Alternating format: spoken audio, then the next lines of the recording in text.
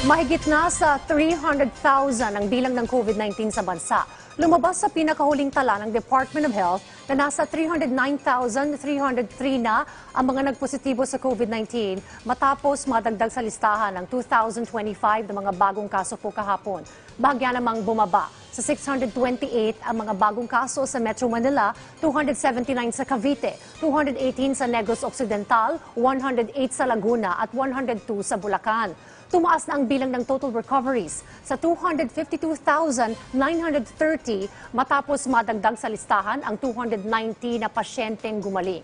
Umabot naman sa 5,448 ang kabuang bilang po ng mga nasawi matapos madagdag sa listahan ang 68 na mga bagong namatay. Nasa 50,925 ang active cases, 86.5% ang mild cases, 8.8% ang asymptomatic, 1.4% ang severe, habang nasa 3.3% ang nasa critical ang kondisyon.